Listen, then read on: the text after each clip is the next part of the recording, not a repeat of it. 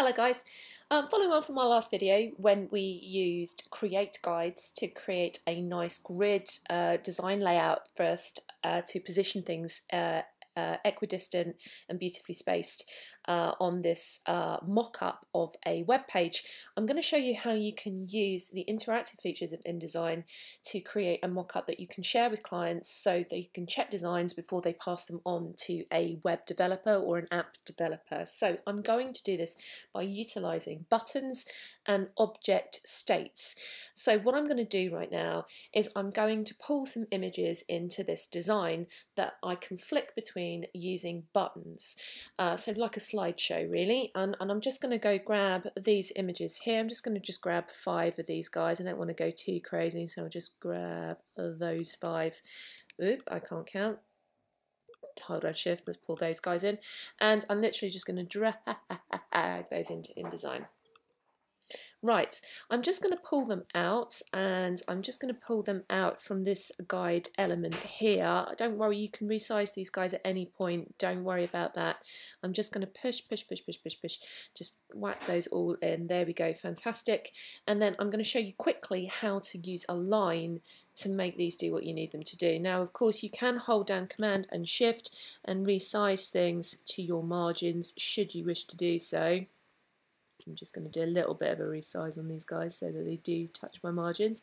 So Command Shift will help you resize things proportionally and make sure that your frames move at the same time as your images that they that, that are contained within the frames. I'm just going to now use my black arrow tool to drag around all of those guys and over here in properties you'll see that the align features have popped up. First and foremost um, if you haven't already align the top edges so they are nicely stacked on top of one another and then I'm just going to go for this align horizontal centers option to stack them all beautifully here and uh, because they're all selected now I can just use my pink smart guide to just put those in the middle of my page very nice, ready to go. They are all still selected at the moment. If you've accidentally unselected your guys, don't worry, we'll come back and select them in a minute. I'm just going to go up to Window and I'm going to go down to Interactive and I'm going to select Object States to open up my object states panel. So this is a way of controlling what images that you can see on your design at any given time. And I'm just going to use my black arrow tool again. Like I said, if you have deselected your objects, just click and drag around a clear area where you can grab all of those states at once. And now I'm going to click to make a new multi-state object, i.e. this image will change when I select a button to make it move and I'm going to click on that icon there. You can rename your states by your images if you want to but I'm, I'm just going to, just in case I've got a couple of object states on the go here, I'm just going to call this portfolio just in case you've got others on the go. I've just got caps lock on, don't worry about that at the moment. Um, so I've just renamed that. That's okay, that's all good. Uh, and that state is now ready to go. You can see the sort of like a line around it that indicates that that state has been created. There it is portfolio state. Right, now let's make some buttons in order to control how we see this. I'm just going to go grab from the window menu and if I just go down to buttons, uh, if I just go down to interactive first and foremost, um, and buttons and forms, there are if you go to the fly menu of buttons and forms, some sample buttons that you can grab, but you can literally turn anything that you want into a button. I'm just going to go grab, shift click these little grey arrows here, and I'm just going to pull these guys onto my page. There they are. Um, but if you wanted to, you could draw out your own buttons and we'll turn them into buttons. And I'll show you how to do that as well. Literally, um, what shall I do? I'll just grab a text box here and I'll just put uh, a, a HTML angle bracket in there to just make it a bit bigger. And I'm just going to grab that text box and alt drag it to make a copy and replace that with its uh, right hand counterpart. So I've got a left and a right um, uh, uh, angled bracket there that I can turn into buttons.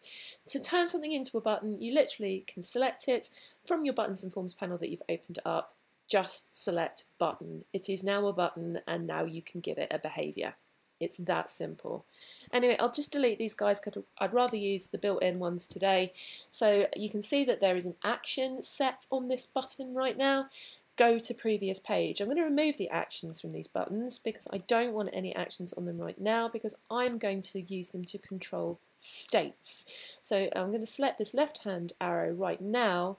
I'm going to select add new action and go to previous state because that's the left hand button so that will take me back through my images if I need it. I'm going to select that right hand arrow now, again add a new state, go to next state. That's all you need to do. Now you will notice that because I've only got one state object here that I can control, it's just come up with portfolio here. You do need to make sure that if you have got multiple states or multiple objects in state uh, on a page that you select the right one but I was okay to just go ahead and do that. Right, fantastic. I'm just close down that panel. And now I can move these guys anywhere I want to on my page. I'm just going to align these guys centrally underneath my navigation box here. Uh, and I'm going to control from here. You can move them out if you want. You don't have to move them all at the same time. So this guy could come and align on my design here this direction and this guy could come in a line here using my green smart guides I'm just aligning those guys let's check and see what that looks like in preview mode I'm happy with that. Escape to exit that presentation mode. And now let's see how this might work. Um, so you can actually select object states and preview them by hitting this preview icon here. Hit play and you can preview interactivity. So you can see your little buttons there. You can make this box a little bigger there if you want to see how your buttons are going to play through. That looks great to me. But if you want to share this with a client the easiest and best way to do this is to use InDesign's clever publish online feature that utilizes uh, the Adobe Creative Cloud in order to store your file and give you a shareable link that you can show to any art director or team leader that you need to share your designs with. So let's do that. I'm just going to publish online, publish new document. I have done a test publish before, but I'm just going to go with this. I'm going to go with Caroline Blogs website one as a single page or double page depending on how you're putting your designs forward. I'm just obviously going for a single page here. You can give it a description if you want and I'm just going to hit publish. Now it's going to upload my document to the Creative Cloud and you can see it's uploading there. I've got a fairly slow upload speed at the moment, haven't we all? But if I just push that through and wait for it, to be honest, actually it's going really fast. Now that I, this is what happens when you call something slow, it just speeds itself up automatically. You can share this link, copy and share it. You can share it on your social networks or what have you, but you can copy that link and send it to any client you need to in order to see how that might look. I'm just going to hit view document because I've got no one to send this to at the moment. I'm just going to view it. That looks great and let's click, click through and check that my buttons are working as anticipated. Isn't that clever and very, very, very neat? So if you needed to make a small, informal, um, linked document to send somebody really quickly because your website's down or hasn't been created yet, you could do it this way. So enjoy.